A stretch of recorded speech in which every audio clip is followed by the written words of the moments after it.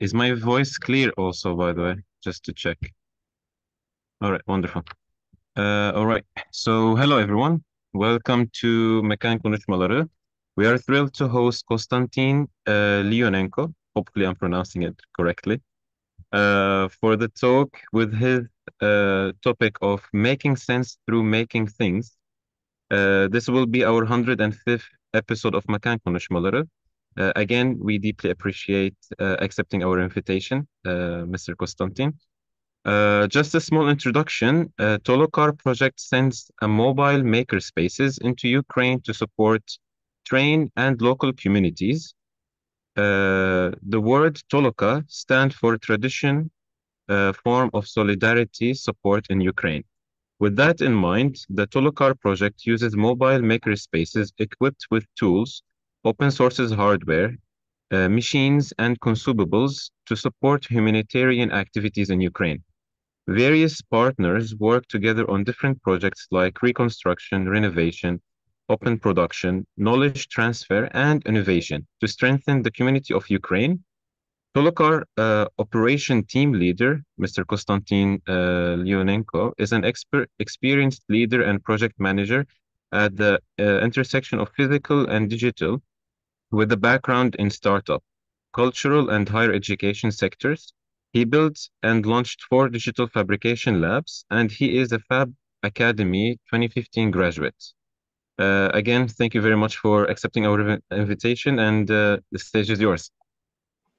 Just a little little reminder, Konstantin, they're asking if it is possible to raise the voice of your microphone. Is it possible? The groups have some difficulty, I think, to hear. Is there any possibility to raise the volume Let of me the see. microphone? Yeah, yeah. Uh, I'm trying. Uh, do do do. Let me. Microphone. Oh yeah, that's the setting. Is is this better? Yeah, much better. Thank you. Oh, you. fantastic, fantastic. Somehow it went down in the system settings. Thank you for thank you for clarifying that. Would be would be horrible otherwise. Uh, so thank you for having me. Thank you for inviting me, Shabnam. Thank you, Halit, for for this kind of invitation and introduction. Uh, so uh, my name is Konstantin. I am team lead for the Toloka project, and uh, has already uh, explained uh, briefly what that is. Uh, and the title of my talk is making sense through making things uh, and in a way it kind of goes back to uh, the ideas of personal fabrication of uh, digital fabrication how uh, we have um, kind of arrived at this at this place in technology development technology evolution where we can uh, uh, kind of reclaim this space for production, space for manufacturing, uh, in a way that we can communicate through things, and in a way, kind of how stories that things carry and stories that uh, we put into things, uh, how they're becoming much more important than the actual things themselves. So uh, let me try to kind of. Uh, it's it's. I know it may sound a little bit vague, uh, and I'm only trying to kind of to bring this this whole story together. Uh, but I hope it kind of sets the stage for a little bit of more uh, more nuanced conversation later on. So I don't know how many of you know David Byrne from Talking Heads, but he's quite yeah he's uh, his music has made significant uh, impact on me, and one of his most iconic concerts has been uh, that that is one of my very favorite concerts ever, called "Stop Making Sense." And a long time I lived by this motto, just kind of trying to understand, not exactly not understand, but to accept the world, to kind of see what it is, kind of to to embrace the kind of the complexity and uh, uh, as as it is without trying to make uh, yeah trying to make too strong of kind of judgments or kind of sense understanding of what it is but since things are changing things have changed quite rapidly Uh, I mean, for me, this uh, personally, for me, this war started in 2013. Uh, for many people in Ukraine, uh, it started in 2022. Uh, many people in the world still don't quite feel, comprehend, understand what this means now, uh, what this means for the future. But it is war outside, and we need to come to terms with it and understand how to orient ourselves and whether we can live by the stop making sense motto. So pacifism is a privilege. Uh, this is uh, this was one popular Instagram post to uh, to try to communicate this position that uh, nobody, no, none of my friends in Ukraine ever chose to pick up guns or weapons uh, none of them ever wanted, none of them had any kind of militant background, none of them were interested in weapons or war, any any sort of that uh, activity. But there's that expression, you may not be interested in war and politics, but they're interested in you. So here's a slight edit of this uh, of this post uh, by a good friend and colleague, and colleague of mine. Uh, pacifism was my privilege uh, there's uh, in a situation like this, it's it's impossible to to stand by and campaign just kind of peace for the peace sake. And a lot of people are very uncomfortable with the ideas of kind of uh, supplying weapons, making weapons, kind of embracing the the violence that is necessary to defend oneself. These are all very uncomfortable things. They're all very painful questions, uh, but essential ones. So going a little bit back, in 2012, I set up the first Fab Lab in Ukraine uh, called Izolab. It's in my hometown in Donetsk. Uh, it was a beautiful place. Uh, we ran a lot of workshops, had wonderful vibe, wonderful atmosphere. Uh, we're kind of running workshops. Uh, before even we got our first 3D printer, we started doing this spaghetti architecture workshop that uh, uh, I once discovered is kind of professional sports for engineering students, as it's a fantastic tool to learn how, say, intuitively understand how metal structures work, how how you build bridges and towers and all of that. And it may seem super silly, but it's actually it's a very fundamental experience uh, for people to learn about these things. At the same time, it's very creative, very helpful we actually they were so popular uh, we we almost had to kind of to uh, even after we got our laser cutters and 3D printers, people were still demanding uh, spaghetti building workshops uh, because they uh, they bring such intuitive knowledge and such a great experience uh, in learning about kind of technology and engineering and structures. At the same time, some people turn it into purely creative kind of sculptural endeavor. And among our visitors, there was this gentleman, not so gentle of a man, uh, Roman Lyagin. He was bringing his kids and his family to participate in our events uh, and kind of because Izolab, our lab, was part of a big uh, cultural foundation called Izolyatsia. Uh, we had big kind of old factory territory that we were converting into kind of creative village, and uh, our Fab Lab Izolab was kind of uh, the core the one of the core elements in it to enable this uh, this transformation. And in 2014, Roman led the referendum, the so-called referendum that in Russia's uh, uh, toolkit. It's one of the ways to annex territories and to legitimize their violence. And Roman was the person who uh, uh, who kind of uh, well carried it out. So that's that's him holding sort of the the results.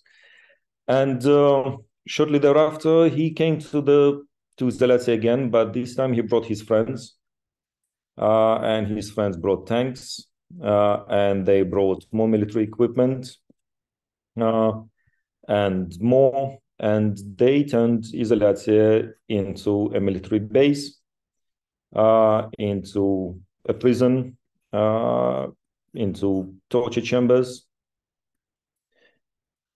Uh, so some of our exhibition spaces from uh, yeah hosting uh, works from our uh, art residents they were turned into torture chambers and torture chambers can look much simpler than anyone anyone would imagine uh, so that's just uh, uh, a field telephone lying there it's just a thing that generates high voltage with the crank of a hand uh, some tape and water, uh, and uh, people get very creative at yeah inflicting pain. So one of the people who, who, went through that through that hell is uh, Vladislav uh, Stanislav Aseyev. So he wrote a book uh, about his experience about going through this uh, there has been recently a feature film done, uh, made that's uh, kind of with his with his memories. Uh, very painful one, but very useful to watch and to to comprehend uh, what is uh, what some people in this in this world have to have to go through. So when I was telling kind of my story, uh, the story of the labs that I was building, it somehow started falling into place that the postal addresses uh, and other kind of landmarks associated with the labs fell into a strange kind of uncanny pattern that uh, our first lab, uh, IZOLAB, uh, was located on the street that is called the Path of Light. And uh, it was one uh, beautiful two-floor building that we're renovating and pouring reinforced concrete, uh, uh, planning to put kind of green roof on top. Uh, it was a beautiful uh, architectural renovation project, but that never happened. Uh, then in 2018 to 2020, I worked with the Swiss NGO Terre uh, we're setting up more labs across the, the contact line of then and next territories uh, between Severodonetsk and Mariupol. Uh, we established this time not a single big lab, but we established a, a, whole network of labs. So we made two bigger labs in Mariupol and Severodonetsk and a bunch of smaller ones uh, around them. And we had the the kind of the training. They all get together for all lab managers in Severodonetsk in the hotel called Peace. And then that hotel was one of the first uh, points through which Russian uh, soldiers occupying Donetsk uh, were coming in. So this is this is exactly the the room in in which I was conducting my workshops, uh, uh, teaching people how to 3D print little little objects, how to kind of getting them the basics, the foundations of uh, of digital fabrication. Uh, so that was the hotel called Peace. Uh, and then in 2022, uh, uh, I have joined Project Toloka, which is now we have three mobile makerspaces uh, traveling. they're based kind of across all of Ukraine and east and north uh, north center and northeast. Uh, and uh, when we arrived with Tolokas into Ivano-Frankivsk, driving them from Hamburg, our first parking spot was the street of Stepana Bandera. And Stepan Bandera is uh, the iconic Ukrainian resistance fighter, very controversial figure for his uh, uh, anti anti-Jewish uh, well Jewish massacres uh, that that took place in in those horrible times. But uh, nevertheless, kind of this controversial figure is probably one of the biggest fighters for Ukrainian freedom. So. Uh, going from path of light, looking forward for something bright future, building one big lab and investing kind of all our resource into one location and that's that being destroyed. Uh, then going to the network of labs, kind of already kind of on the along the occupied territories, and trying to get some sort of peace situation, and still being hopeful for peace to emerge out of that. uh, but already kind of distributing ourselves and investing into into larger network and community.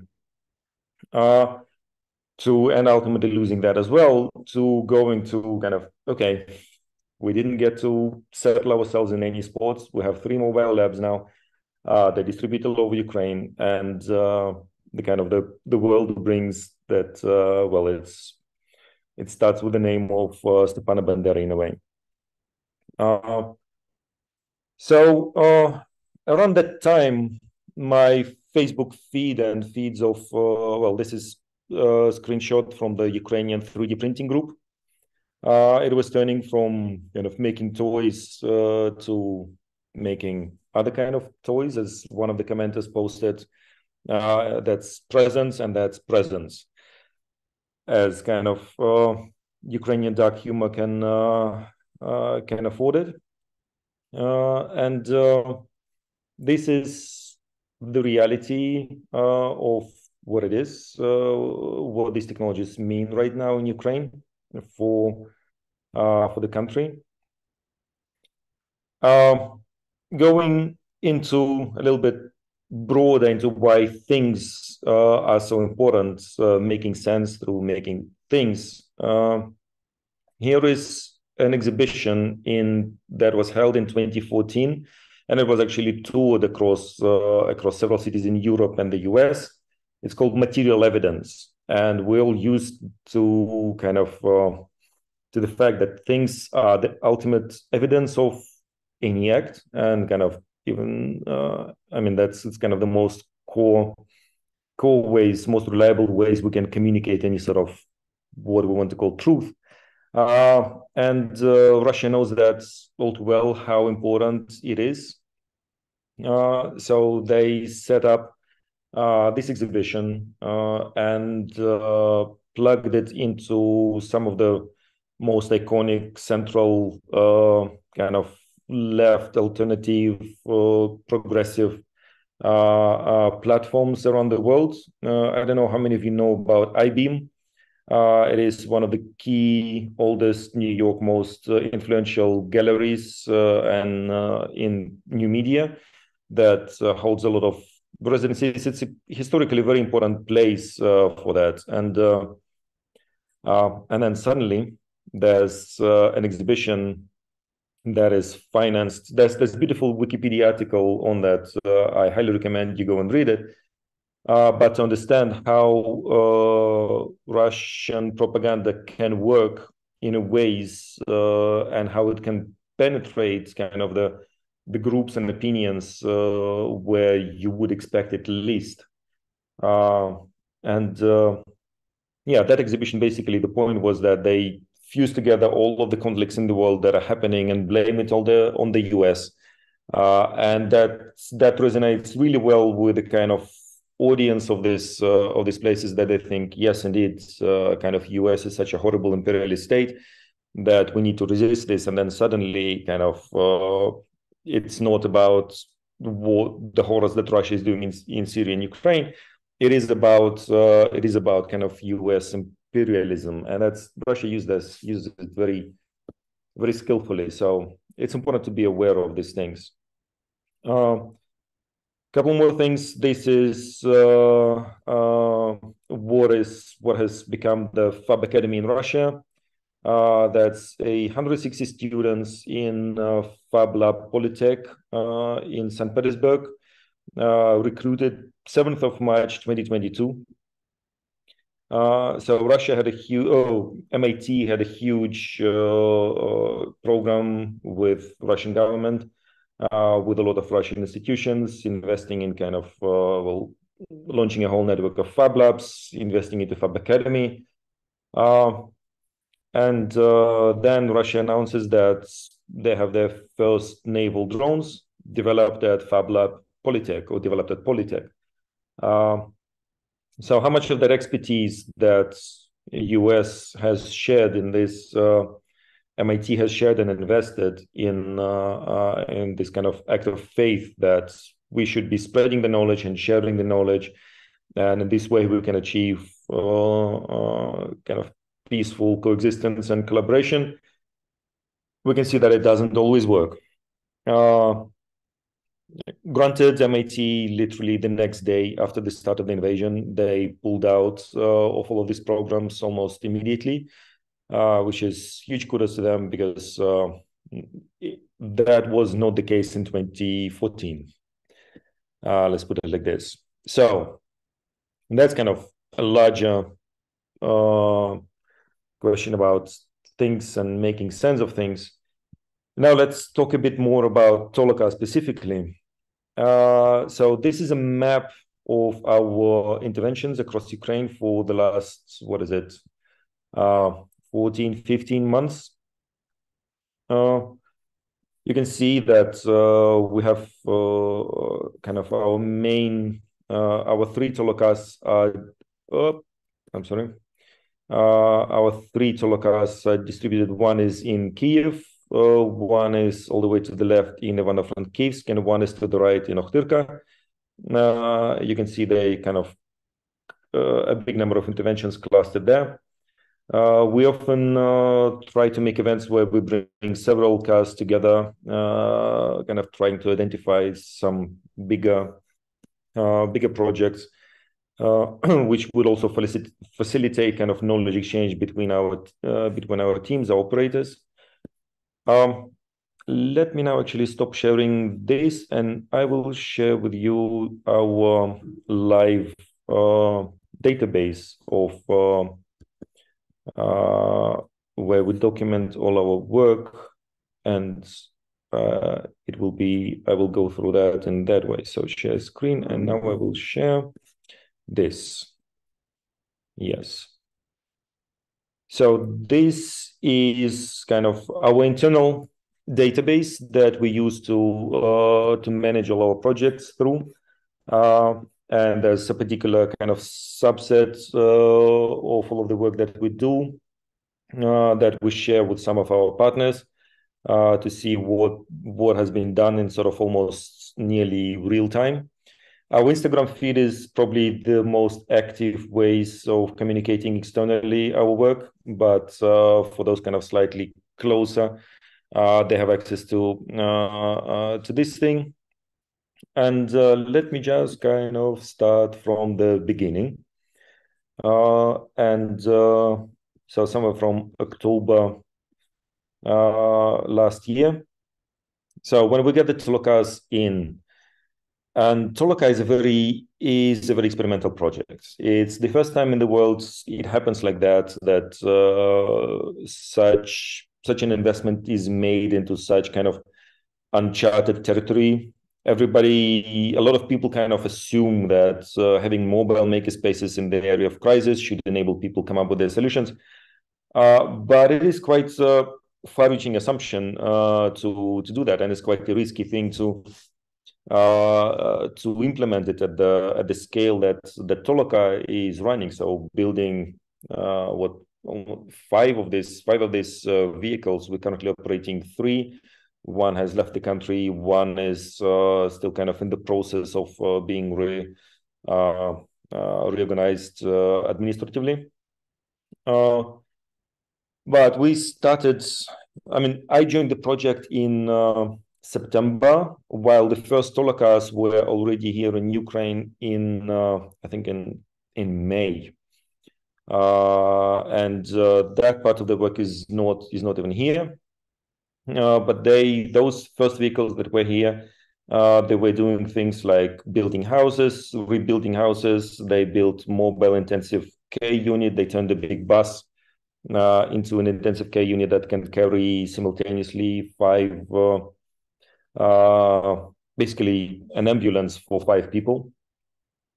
Uh, and uh, but kind of trying to understand is this the most impactful way of using these uh, vehicles? Is this kind of is there uh, is this the best and the most uh, because for example with reconstruction there's well in Ukraine right now there's infinite amount of reconstruction to be done but is investing into kind of mobile workshops uh, uh, is it the most effective way uh, to, to kind of do you really need 3D printers or laser cutters or any of that stuff to rebuild houses? You don't really. There's much more effective ways of using that.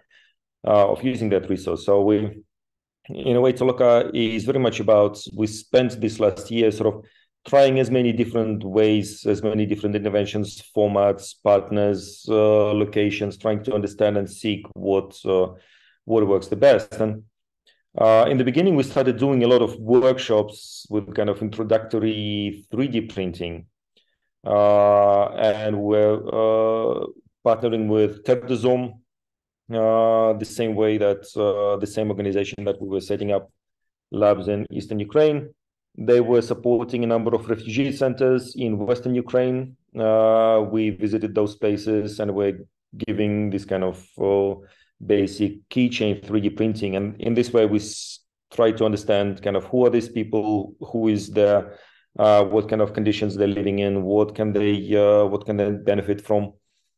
Uh, and uh, but doing it through not just kind of through interviews, through calls, through conversations, but exactly through making things. You know, we come on site, everybody, the magic thing about 3D printers is that everybody wants a workshop in 3D printing. So kind of people, everybody is very happy to welcome you, uh, uh, to kind of to facilitate that, especially if you if that doesn't cost them anything. Kind of Toloka uh, has the budget for all of these interventions. So we spent probably a couple months traveling around and doing a lot of these workshops. Uh, in some places, our team was uh, doing smaller things like helping people replace uh, batteries in their headlamps, and meanwhile, kind of teaching them soldering. So somewhere people were giving kind of sticker and plotter workshops. So sort of really basic things, but already through doing these things through running these workshops. We started getting a feel for for the needs uh, for people who are out there their kind of situations uh, and gradually uh, kind of we're getting to a little bit more complex ambitious things like well uh, we have one very experienced carpenter on the team uh, furniture maker. So he uh, sorry for the upside down pictures. A table sometimes does that he together with the together with the girl uh, that is an internally displaced person, uh, they built for her a set of furniture for her bedroom. Uh, then uh, we've been doing more kids workshops in robotics, experimenting with those kind of things. Uh, and gradually we're kind of exploring a little bit more complex interactions. And then we uh, got in touch with uh, with the school in Truskavets. Uh, and I was uh, there is uh, Denis Shilenko, uh, our now very very dear colleague. he told us that there is this school, elementary school in Truskavets, but because it is located, Truskavets is a kind of resort. It's like a spa town in western Ukraine. It's close to Carpathian Mountains. Uh, it has a lot of mineral water sources uh, and a lot of people go there for rehabilitation. Uh, and a lot of veterans, a lot of amputees uh, go there kind of waiting for their diagnosis, waiting for their treatments. Uh, and that school is located right next to this hospital. And there's a local NGO that works uh, with the veterans uh, and looks for ways to kind of uh, to support them while on their journey because people in that in that condition it's emotionally very very difficult time for them so there's a school that was looking for a long time to set up a lab uh, a lab like this, a small fab lab. They applied for different funding before the war, before the COVID. All of that didn't happen uh, due to that. But then we came there for a visit again, printing a lot of keychains and teaching kids uh, just kind of the basics of 3D printing. But we decided to extend it a little bit more uh, and uh, spend a couple days and invite veterans to uh, spend some time with the kids and just kind of see what happens and maybe they would uh, they would learn some little skills maybe for them it would be an interesting way to just kind of step out of the hospital or kind of out of the usual uh, circle. Uh, and the kids, after spending one day in Tinkercad, uh, they uh, we suggested kind of that they they talk to the veterans and uh, they we try to kind of gently nudge them to some sort of design thinking processes uh, so that they would try to to talk to the to the veterans and understand what what are their needs, and then maybe try to use their newly gained skills to solve to provide some sort of solutions for for the veterans. And at the end of these three days, uh, here's this uh, gentleman, uh, Sergei, uh, I think his name is. Uh, uh, he's missing a part of his uh, part of his foot. Uh, that's why he he has to have walking aid all the time, which makes it difficult for him to kind of to to pick a phone uh, from a pocket or to zip it. But he he said that he would really want a phone holder on his belt that would that the phone would slide in under a particular angle that would make it very comfortable for him and that's what the kids did. 10 year old kids who spent one day, uh, I mean, not, not one day, one hour workshop they were given in Tinkercad, and the rest of the time they spent just kind of fooling around themselves. We we don't really do any teaching. And this, this is one thing we always try to, to steer away from. We, we try to set up situations, environments where people do their own learning uh, we support them along the way as much as possible, but we try to minimize our teaching uh, uh, so as to give people maximum possibility to to to learn for themselves. Uh, and uh, yeah, it was really spectacular outcome when uh, after this kind of minimum intervention, we got as far as a sort of as a prototype of that uh, uh, of that phone holder uh, designed by nine year olds and not just randomly designed but with the requirements with the kind of request from this veteran amputee. Here's another workshop that we, that we held in Brody uh, that's a small town again in western Ukraine. Uh, the spectacular thing about this workshop is that we run it in during complete blackouts. Uh, we have uh, big batteries in Toloka that were able to power the whole computer classroom from and the 3D printers. So even Russian rockets didn't stop our 3D printing workshops. So there's a bunch of uh, a lot of interventions uh, like that. Uh, uh then uh, when an opportunity arose that we actually had a budget to install some and donate some 3D printers to organizations, we already had a very good idea who would make best use of these machines. So because we already worked with these people, we knew their motivation, we knew their kind of conditions, circumstances. Uh, and so then GIZ, our donor at certain point, uh, they said, well, here's 20 3D printers, please kind of uh, put them where where they would work best. And uh, so then we, after that, kind of we ran our second iteration of these workshops uh, uh, with organizations, but not just teaching them printing. We already taught them how to build, assemble, calibrate a 3D printer for their own, so that they can start growing their labs. And that that is one of the key things that we try to do all the time is that we do as iterative work as possible and it's about kind of setting up conversation uh, with every such recipient. And I will almost always like a business card visit is this 3D printed keychain. And we do a lot of these workshops. And some people like, well, how many of these 3D printing keychain workshops you can do? And I say just as many as necessary. Uh, because this is just our hello uh, statement. But any conversation starts from hello. Uh, some of them go further, some of them don't go further, but every conversation has to start with hello. So that's that's what we do. Uh, that's what we do a lot. Uh, and there's also quite a challenging thing in that sense to explain and to motivate the team of our operators. Uh, kind of when we have these long driving hours uh, across Ukraine, uh, and there's often this this question is kind of well,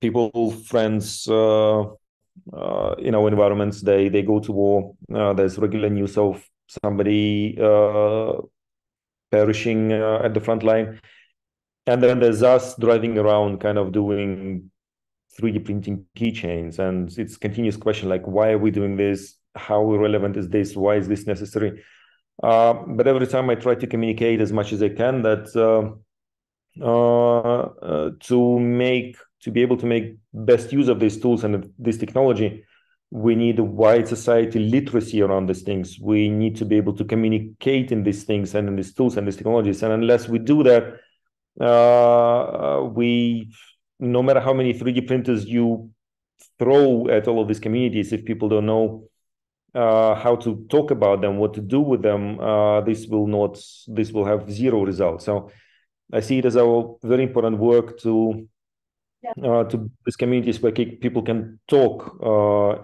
in these things in a way. Yeah, was somebody uh, saying something? Uh, no, okay. If, if somebody has questions, comments, remarks, please feel free to interrupt me any moment. I'm happy because I can uh, I can talk about this for for four hours uh, without stopping. Uh, uh, then the other uh, the other intervention that we did, the other solution is that uh, there's a brilliant Cambridge inventor, Harry Blakiston Houston, and he came up with this spectacular, super simple design for temporary windows insulation. It's a very cheap, very effective solution where you just make a PVC uh, tube frame, you wrap it in plastic foil once, and then you put insulation noodles around it, and you wrap it in plastic foil again. And this way you get uh, three uh, airtight chambers uh, of air uh, that you can fit into any window, and you can manufacture window, fabricate a window like this in half an hour on any custom dimension, virtually of any shape. some shapes, of course, are a little bit more complicated, but it's very doable. It costs about 10 euro per square meter.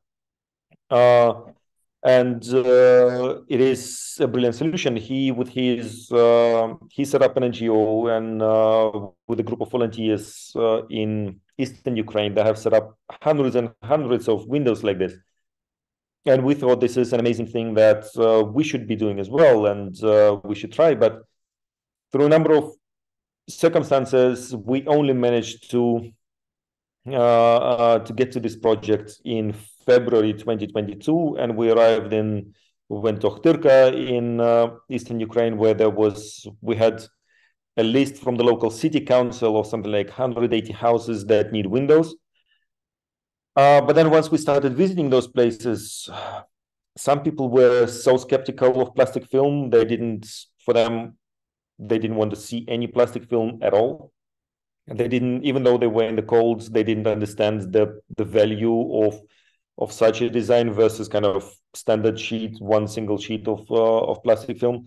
Some people were afraid that uh, some people just wanted real glass windows, and they were afraid that if they will receive this kind of temporary windows, that they will never receive their glass windows.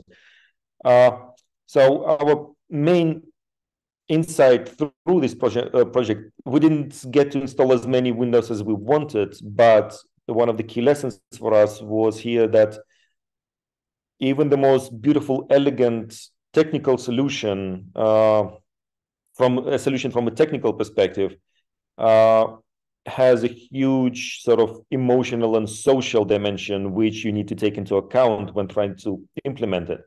Uh, and um, so far, we don't have kind of an easy answer to that, but at least we kind of identified that. Uh, uh, yeah, in this case, most of our work actually went into finding the right the right person, the right household where this solution would be appropriate. Those that we managed to find, uh, it made a huge difference.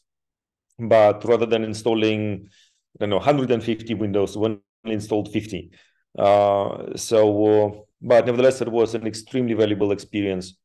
Uh, and actually, he is uh, one of the best things that happened. So we ran several workshops for local communal services uh, people who respond first to the uh, to kind of to any broken windows situation uh, and so this was in february 23 uh, and in june 23 it's not in these photos uh, that that ah this actually this was the team Velyka Pysarivka uh, we did there, and then after that we donated a whole bunch of these materials that we didn't get to use uh, we left it there with the local communal services team.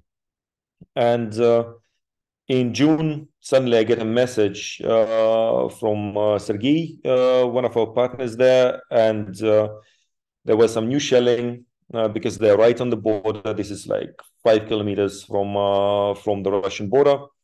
And in June, there were sort of incursions by um, there was this kind of Ukrainian specially designed operation where they gathered a group of Russian citizens into a separate unit and they went into Russia attacking them.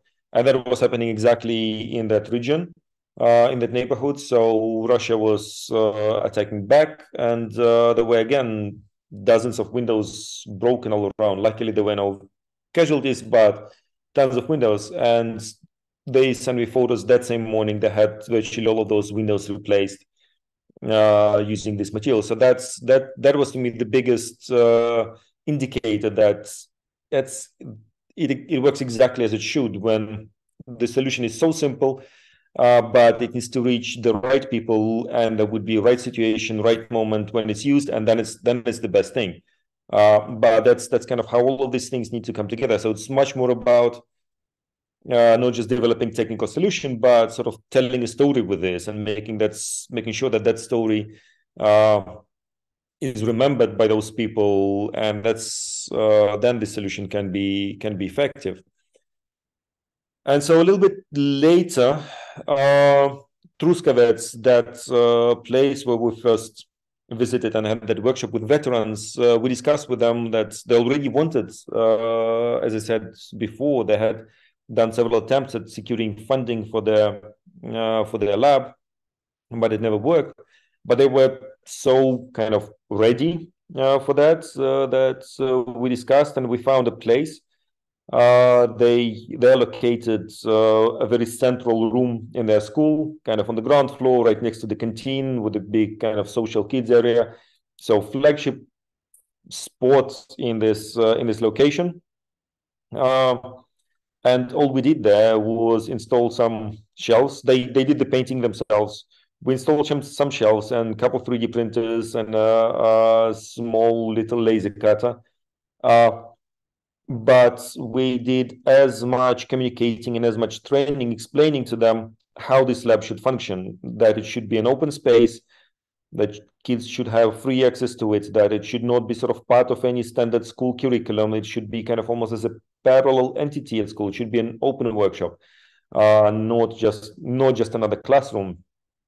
Uh, and uh, right now, this place is absolutely bursting with uh, with activities uh, and uh, local. actually, this this morning there was UN development, uh, UNHCR uh, development organization there looking at this lab, and there's now conversation about setting up a much bigger uh, uh, turning a much bigger building in Truskavets into into kind of center with a into a big hub like this and exactly kind of meeting all of these uh, needs and goals. Because once you start with something so small and simple but and there's a big community around this. And it's so easy then to see how uh, how it impacts this community uh, because a lot of people have heard about the labs but not many people have seen what it means uh, to run it and what effect it has on people. It's a totally different conversation when you when a Toloka is there and when people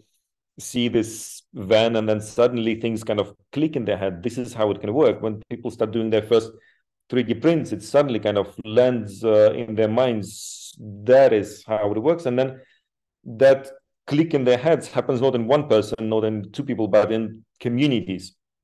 And that's when uh, uh, it's already much easier to kind of to progress further uh, because kind of this communication, this story grows by itself. Uh, and uh, I'll maybe probably will come back. Yeah, there's uh, there are more pictures from from Truskavets. Oops. So, so what else? Uh, yeah.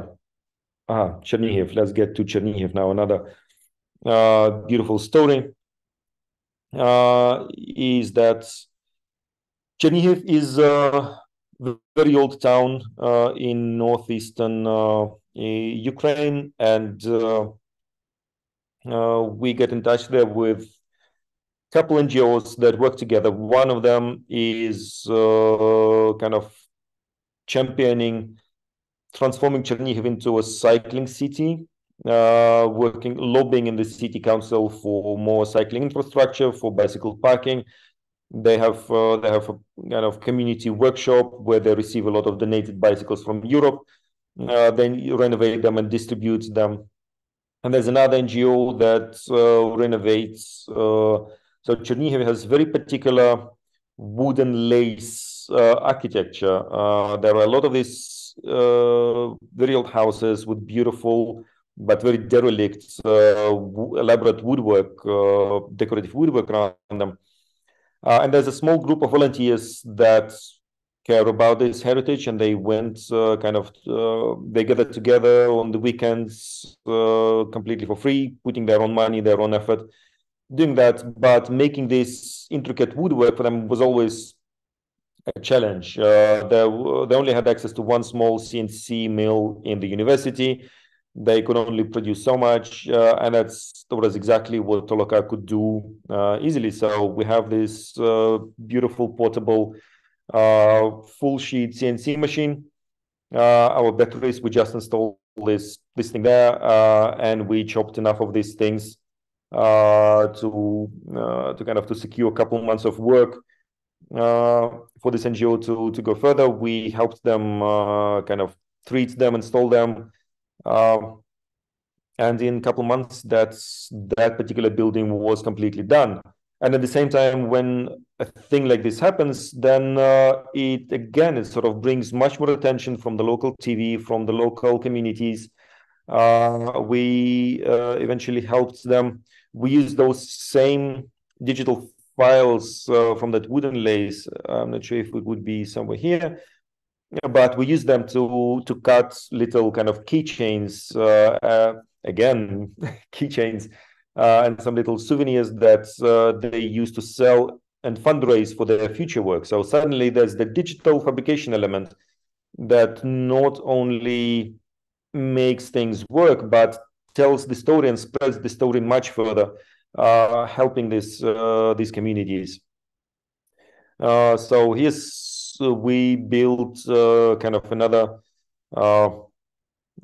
this sort of public space in front of this bicycle workshop uh, that has again uh, sort of led to that becoming kind of a community space and a place where people just want to come and hang out and they uh, a little bit later they turn it into bicycle kitchen cycling kitchen they start selling coffee out of that window uh, and then sort of we identify now having that experience with Truskavets and with Chernihiv we have identified this kind of pattern that when we see that there is a local group of activists, but not just kind of one organization, ideally it would be kind of three different groups. Uh, and very often the pattern is some sort of educational establishment, some sort of NGO, some sort of uh, administration. And when you see that they're working together, that's a really great sign that they're already, they're very ready to kind of, to receive a small kind of nudge, a small push to help them build something, help them figure out a couple little things into how these tools can uh, can support them, uh, and uh, then it just kind of explodes and evolves completely on their own uh, on their own path. So it's kind of it's really communities at that pivotal point where uh, we literally had when we in Chernihiv we went to see that meets the Polytechnic uh, University, the the head of the university and again, he had that sort of, yeah, we've been thinking about this sort of lab for a long time, but we don't really know what it is, how it could be. Uh, yeah, he's more of uh, Truskavets. And then I'm like, wait, wait a second. So here's a picture of FabLab Iceland. And on this one picture, you can see all of these machines, all of these processes, all of these people doing the same thing. It's like, oh, now I get it. Uh, and then we go down and here's kind of uh, here's the Toloka and that's all of these machines packed into into a van like this and it doesn't need to cost you a million and you can start with a little thing uh, and literally uh, within a couple of weeks actually that that same day we went uh, to see the location uh, and there was a big old cinema building as part of the university uh, owned by the university, but they didn't really know what to do with this. And like, well, now we know. Here's the place. uh, and we will build a business incubator in there. And this kind of lab will be uh, a key core thing there. And that's exactly what happened. By the way, yeah, this uh, this is the renovated house in Chernihiv. That's already our second uh, visit afterwards. That's already the launch of that house with a whole group of volunteers. These are the key keychains that we cut for them. Uh, and uh, then then we come to Chernihiv the second time, and that second time already we launch uh, an epic full full scale lab like this. Where is that? Where is that report? That's the bicycle kitchen. Uh, uh, also, quite tellingly, uh, that cinema is called Peremoha, which in Ukrainian means victory. Um, so, yes, there it is. So that's that's already the the public launch of that uh, of that new space. Uh, and we brought all three Tolocars there. We worked there for, for two weeks. It was uh, a big, big event. Uh, and now, again, once that's once there is they have this kind of initial small little nudge and people see what that means uh, uh, then kind of funding is not as much of a problem anymore because there's a number of donors operating in Ukraine now who look for initiative to support, but uh, they need to see people who actually have some sort of uh, tangible results. Uh, and right now, there's uh, there's kind of uh, beautiful. I I don't want to share the details, but there's huge, very very promising uh, developments around that place happening right now. so yeah, that's kind of very briefly, I think I should uh, wrap up now. This is our Kiev team uh, renovating bomb shelters and uh, building furniture there.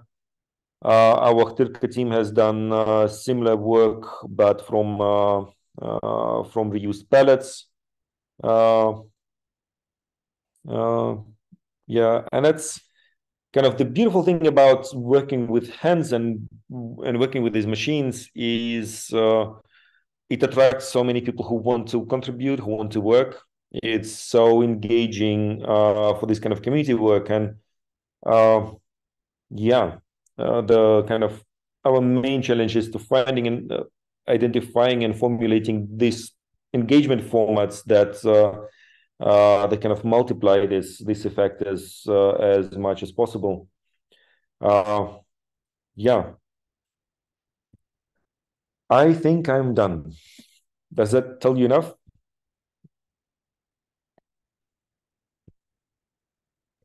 Again, thank you very much, Mr. Uh, Konstantin. It was a very uh, informative uh, presentation, to be honest. Um, now I think we're gonna jump into the Q&A section. So if anyone has a question, either uh, unmute yourself or you can write it in the chat.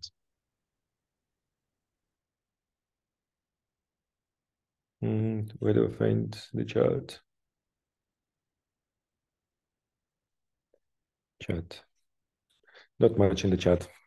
No questions. I told everything.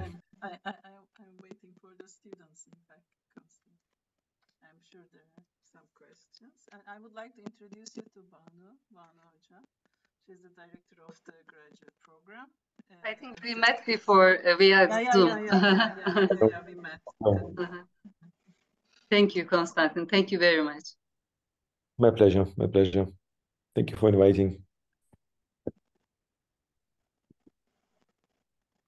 Well, then, if no one gonna ask something, then I might start. um, uh, so uh, I want to connect this concept of Tolocars uh, with a project that we are ongoing uh, in our uh, master program uh, at our university. and mainly we are working in this, um, you know, earthquake areas that happened in Turkey, which is Hatay or the southern region of Turkey. And right now, um, we are trying to, you know, introduce this concept of uh, repair, uh, do it yourself, uh, kind of a fabrication laboratory um, into the uh, you know uh, the culture of uh, Hatay, which is Mhm. kind of needed because uh, uh, in the let's say in the I don't want to call it a village because uh, we we are working in a a, a place where it's neither a, a city nor a village at the same time. Uh, Mhm. but they do need such an uh, uh, you know knowledge uh, in their uh, culture, let's say. So I think uh, one of the things that I really liked about uh, the initiative of Tolocar is you, you're kind of creating a proof of concept. And that's what makes people hooked up into this concept, I think. Uh, because as far as I understand, uh, once you keep, you know, explaining it to them, showing them some, uh, you know, uh, even little as, uh, you know, a keychain, that is enough for them to, you know, uh, you know, think or maybe we can do something out of this. Maybe we can improve it. We can work upon it, etc., etc. But you know, my main concern is right now. I believe we don't have such a, let's say, knowledge on how uh, to introduce it for the locals. Um, how do you think we should do that? I mean, I know that you started with schools, let's say, for example. Um, is there any other ways, maybe, perhaps? I mean, the key question is uh, what is what is exactly the goal? Because if the goal is to uh, give give people some uh, immediate uh, help and immediate relief, then 3D printers are not exactly the best the best tool for them. Digital fabrication is quite a complex thing. Uh, it requires uh, complex setup. It requires quite some involvement. It requires some time before people learn enough about it to be able to make uh, use of it, uh, which is uh, uh, which is what it is. It's just it is great at building communities. It is great at engaging kids, uh, and uh, but at the same time, uh, kind of even providing sort of a form of childcare uh, in communities and freeing parents from child duties uh, and parents not being worried about kids' education uh, lets parents engage in stuff to rebuild their communities. So, the, uh, it's kind of how you bring it, how communicate it, because very often uh, people who are sort of new to this area, uh, they try to communicate it or kind of have expectations about it as well. 3D printing will kind of make anything and solve anything. Of course, it won't. Uh, but once you know yourself, kind of you have the experience of these tools, technologies, uh, once you find the right sort of scenarios, the right entry points for it, uh, it can work wonders. Uh, at the same time, uh, it is uh, what what kind of the path that that we choose is to, to exactly to engage in this kind of very step-by-step conversation. Uh, so and because sometimes you come to the community i mean uh, i was last summer i was volunteering at uh, at a dog at a dog shelter uh, and uh, every weekend there comes a group of volunteers uh, and at some point there was lack of food but now there's kind of mountains of food uh, uh, in that sense uh, but we came there and somebody had to volunteer for the shit team to go and clean the cages from the shit. And it's like well i'll be there. And we got a group of people on the shit team. And there were no shovels uh, and we couldn't finish we couldn't do that job just because there were no shovels. Uh, and i'm like well yeah so if we would have come to this dog shelter with the Tolocar and with 3d printers and trying to tell them that we can help you somehow why do you bring 3d printers when they need shovels? Uh, so that is that is kind of the most important thing to understand the role of such tools and such technologies because some of them are just conversation starters and 3d printers are great conversation starters but it's important to kind of to direct the conversation in a way to kind of to yield uh, some answers and some sort of starting points for okay uh, here we made this little 3d printing workshop for you the whole community showed up uh, because they're all interested they all have kind of expectations about it uh, but maybe they come away disappointed that 3D printers will not fix their houses, not at least not right now. But in a way, you manage to kind of to get their attention and to understand, well, actually, guys, what do you need? Maybe you need uh, sledgehammers. Maybe you need, I don't know, windows. Maybe you need something else.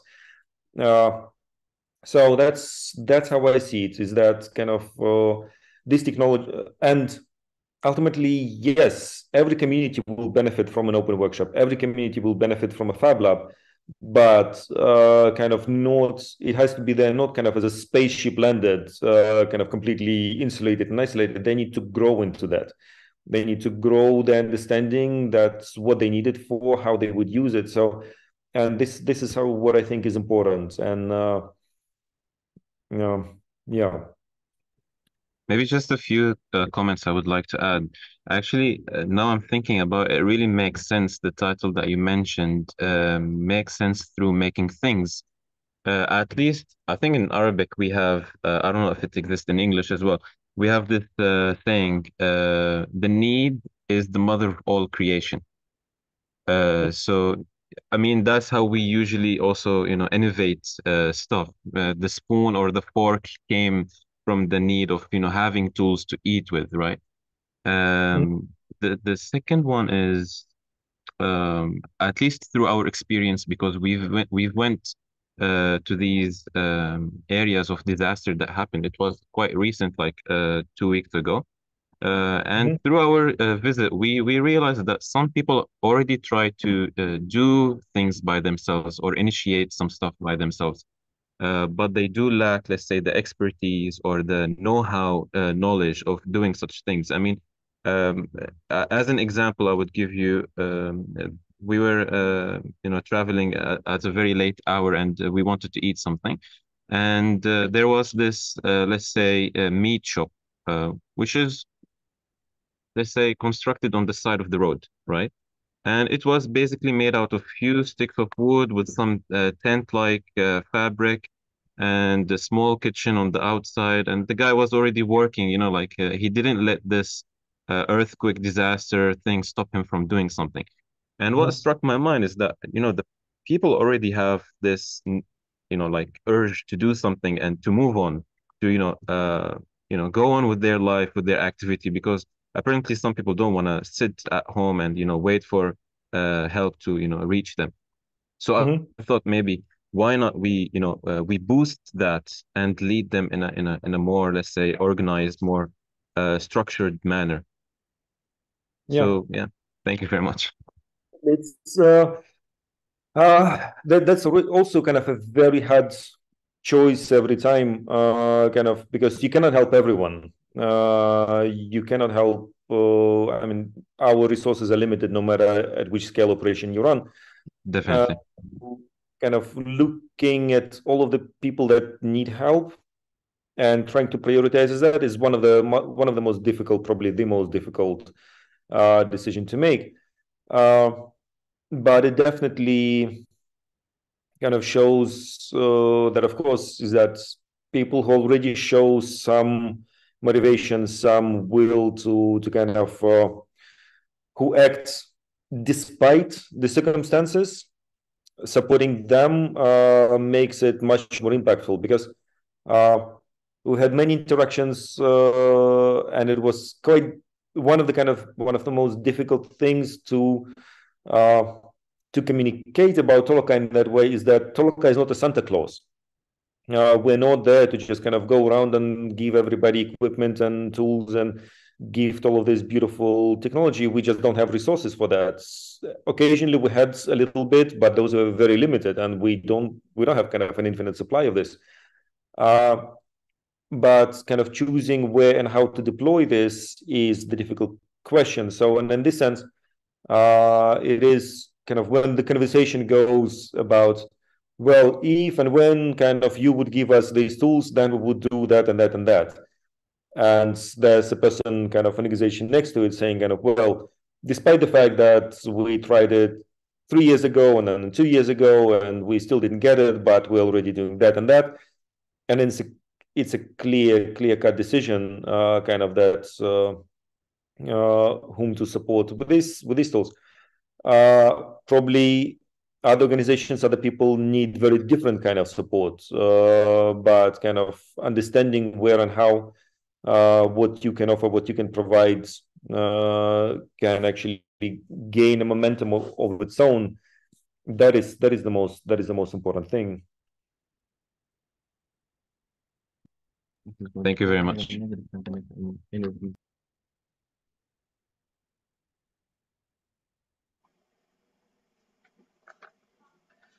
Well, Konstantin, thank you so much. I also have some still questions in my mind, though we had so many conversations with you before too. But uh, still, when this project of Tolocar, you know, just uh, starting a kind of a, a initiative in the format of a project in your case that uh, aims at uh, supporting the people, especially in this war situation.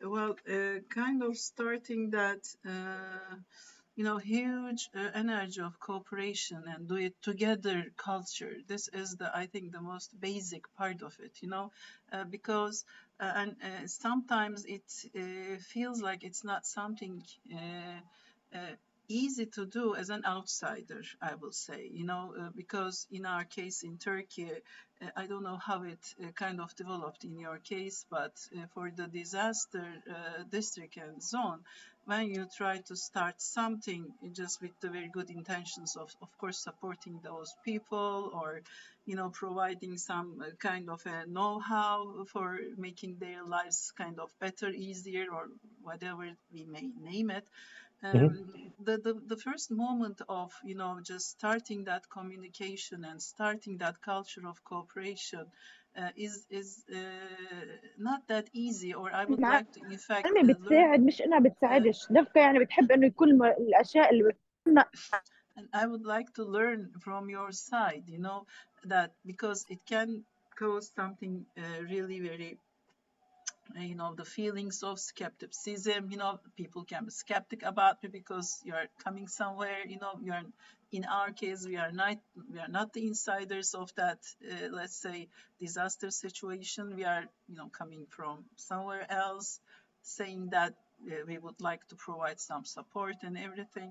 So uh, however all these projects especially that Tolocar project yeah besides being a fab lab trying to bring a certain technology or technological mindset to ease things and make things faster. Besides that, you know, just developing that culture of cooperation, you know, as different parts of a certain community. Well, how that works uh, on your side is, is a kind of a question I have uh, in my mind. You know, uh, I, though I found it very, very valuable, and uh, when I see your photos, there's always crowds of people just uh, really uh, including the local people, local, I don't know, resources.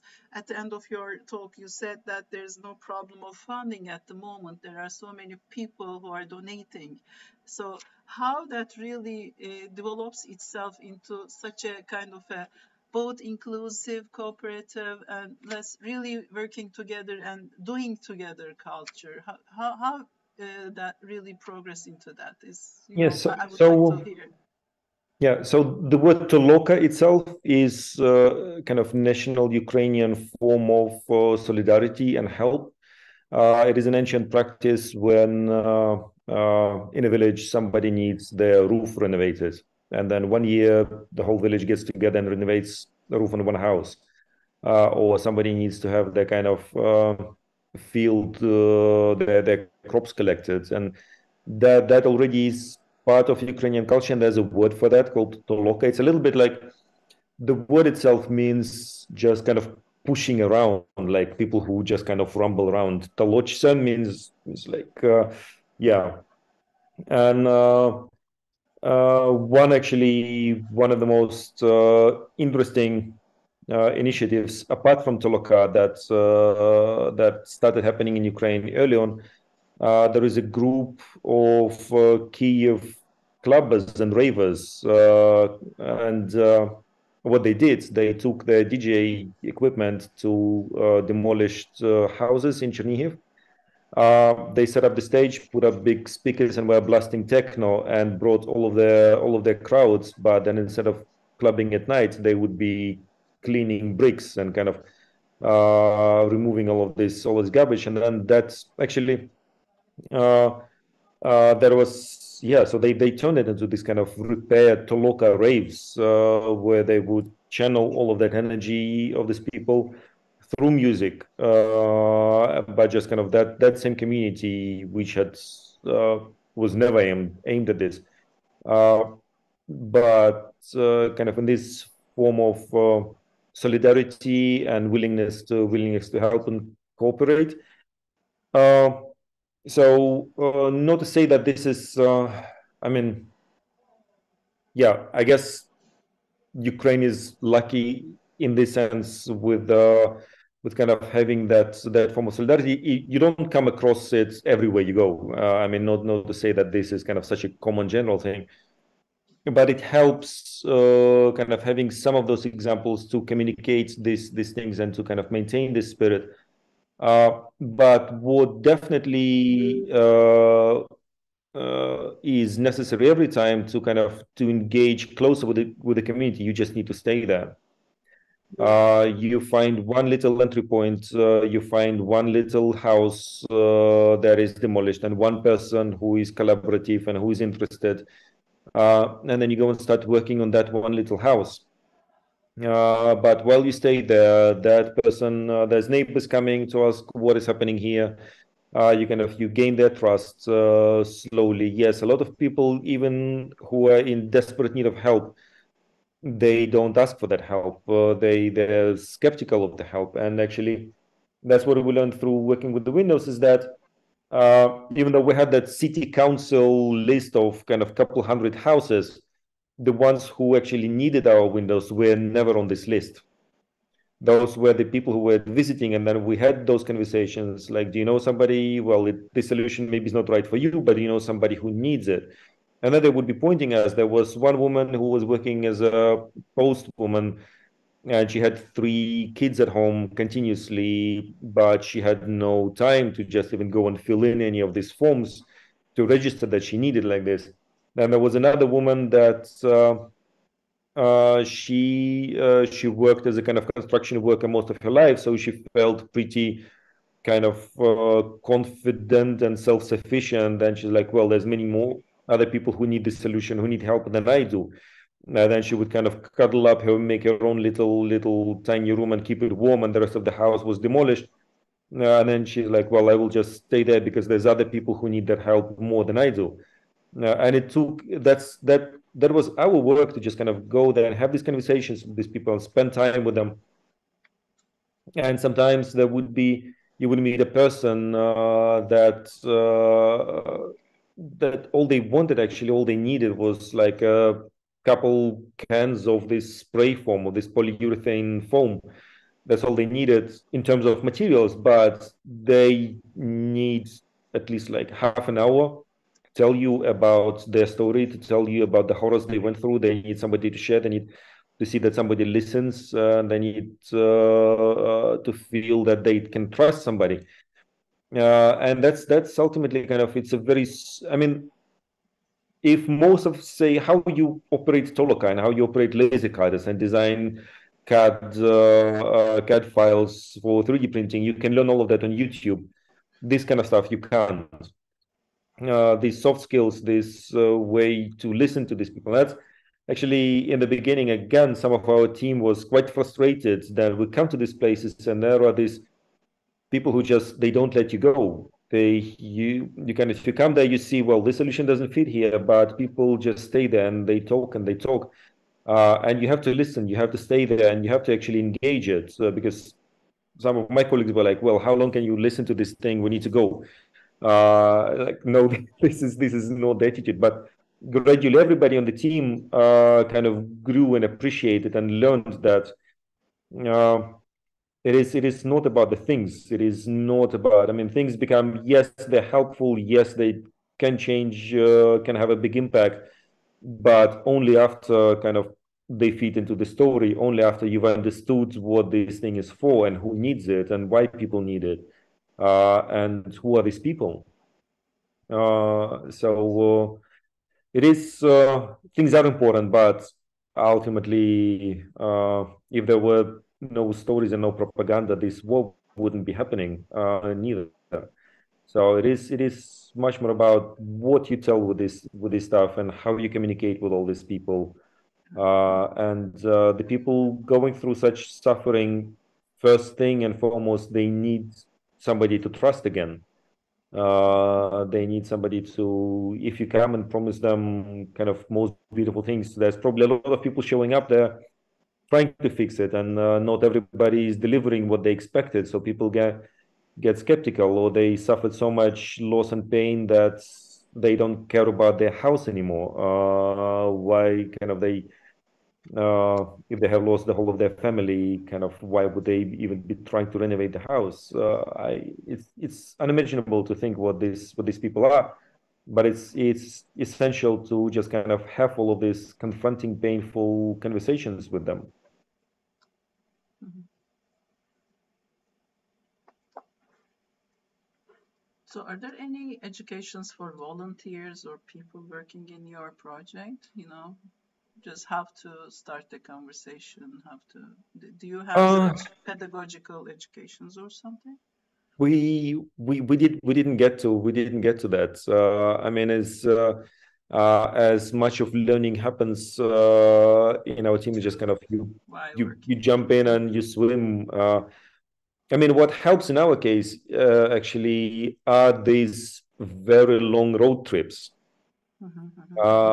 And that is that is very helpful. Where we just kind of uh, we are almost forced to sit down as a team in one car for like five, six, ten hours, and we talk about this stuff, Mhm, mhm. uh, and that that helps a lot. Yeah. Okay, thank you, thank you, Constant.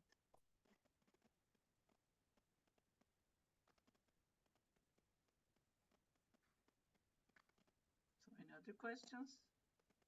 Anyone?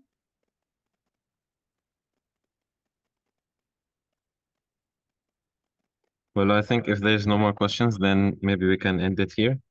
Uh, again, I, I really would like to thank you on behalf of everyone in here uh, for accepting our invitation and for sharing your experiences and knowledge with us. It was very uh, informative and helpful.